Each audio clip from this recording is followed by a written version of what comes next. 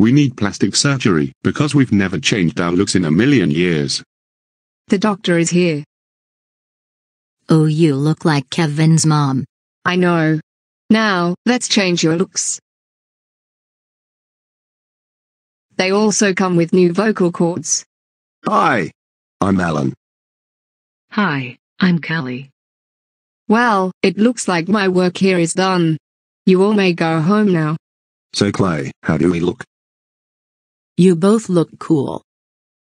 Okay, let's go home now.